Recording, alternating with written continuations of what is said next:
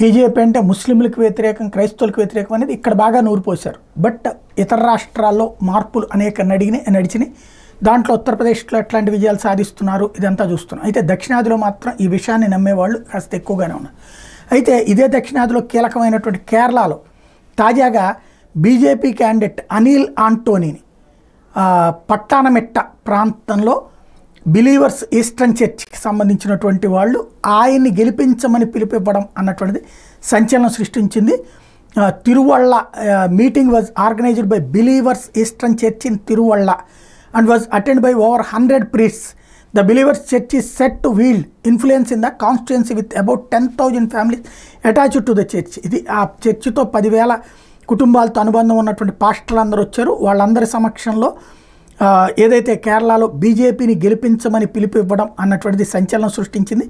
ఇది ఎలా సాధ్యం అన్నటువంటిది ఇప్పుడు ప్రధానంగా చర్చకు వస్తుంది. ఎందుకంటే అసలు కేరళ అంటే చోట్లన ముస్లిం క్రిస్టియన్స్ ఇద్దరు కూడా బీజేపీకి వ్యతిరేకంగా ఉండటం వల్లే అక్కడ దర్జాగా ఇంతవరకు సాగుతూ వచ్చింది. అట్లాంటి చోట్లన ఈ స్టేట్మెంట్ రావడం అన్నటువంటి సంచలనం సృష్టిస్తోంది. అందులో వాళ్ళందరూ కలిసి పెట్టుకున్నటువంటి మీటింగ్ ఫోటోతో సహా ట్వీట్ చేస్తూ మరి ఈ విధమైనటువంటి పిలుపునిచ్చారు.